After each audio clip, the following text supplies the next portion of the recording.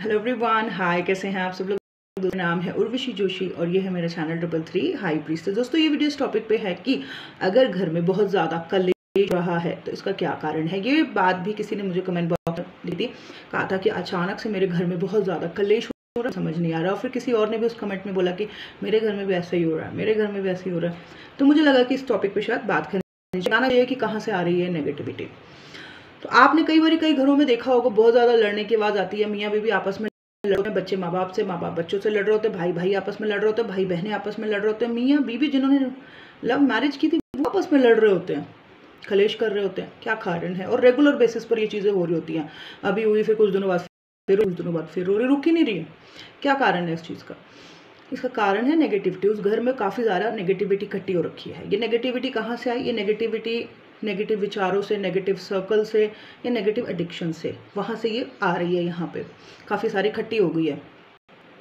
इसका मूल कारण क्या है? उनकी जो लड़ रहे हैं ना आपस में, उनकी ग्रह स्थिति कुछ इस प्रकार की चल रही है, जिसकी वजह से उनके वाइब्रेशन लो हो रखी है। तो अगर ऐसे लोग जो बहुत ज़्यादा आपस में लड़ रहे हैं किसी घर में, उनकी पत्रिका खोल के देखें तो पता चलेगा कि इनके ग्रह कुछ ना कुछ कमज़ोर हैं।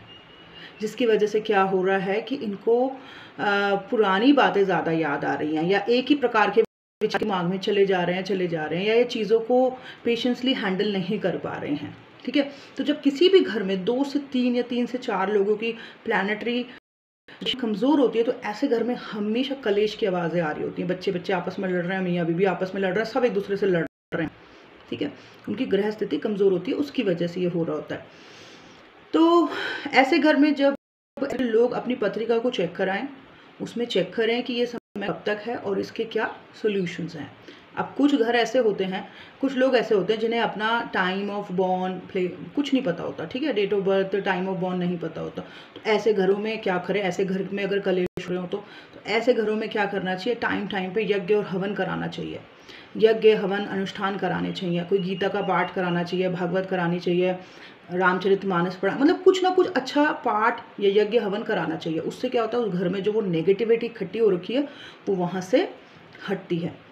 क्योंकि नेगेटिविटी कभी भी ऐसे भगवान वाली जगह पे या जहाँ मंत्र चल रहे हो, जहाँ अनुष्ठान चल रहे हो, जहाँ यज्ञ चल रहा हो, ऐसी जगह पे नहीं रहती है। वो वहाँ रहती है जहाँ गंदे विचार चल रहे हो, लस्ट हो या गंदगी हो, ऐसी जगह पे वो ज़्यादा रहना पसंद करती है।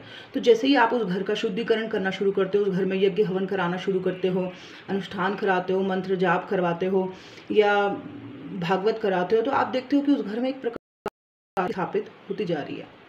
ठीक है? बट इसके अलावा पॉजिटिव प्रैक्टिसेस में भी रहना है उन लोगों ने, ठीक है? अगर उनको अपने घर का सोल्यूशन चाहिए कि भाई ऐसा कलेशी माहौल नहीं चाहिए तो डेफिनेटली फ़र्स्ट स्टेप है कि अपने, पहले तो अपनी पत्रिका चेक कराओ। पत्रिका चेक कराओ, अपनी भी और वो इंसान की भी जो आपसे बहुत ज़्यादा लड़ रहा है या लड़ रही है।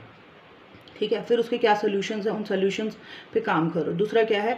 हर दो महीने या छः महीने में अपने घर में यज्ञ हवन ज़रूर कराया करो। और तीसरा जो सबसे इंपॉर्टेंट है वो ये है कि पॉजिटिव प्रैक्टिस में रहो ठीक है? नेचर से कनेक्ट रहो योगा करो एक्सरसाइज करो। तो उससे जो है धीरे धीरे आप देखोगे कि वो कलेशी माहौल जो है धीरे धीरे हटता जा रहा है उस घर का ठीक है? सो so, बस आज का एक छोटा सा वीडियो कि अगर आपके घर में भी बहुत ज़्यादा कलेश हो रहा है तो उसका बेसिक कारण ये है कि आपके घर में एक से ज़्यादा सदस्यों की जो है प्लानिटरी ग्रह स्थिति जो है वो कमज़ोर चल रही है, जिसकी वजह से ज़्यादा नेगेटिविटी घर में भर गई है। बट इस नेगेटिविटी को अगर आपको घर से बाहर निकालना है तो सबसे पहले आप अपनी पत्रिका को चेक कराओ और उसके हिसाब से जो भी आपको सोल्यूशंस मिल रहे हैं, उसके ऊपर काम करो प्लस पॉजिटिव प्रैक्टिस करो और टाइम टाइम पर यज्ञ हवन अपने घर में ज़रूर जैसे आप अपना शुद्धिकरण करते हो ना सॉल्ट बात कर ली, कभी कुछ कर लिया, वैसे ही अपने घर का भी शुद्धिकरण कराना बहुत ज़रूरी है, ठीक है? तो उससे घर जो है वो ज़िंदा रहता है पॉजिटिव रहता है, ठीक है? तो बस ये था मेरा आज का video thank you so much bye bye take care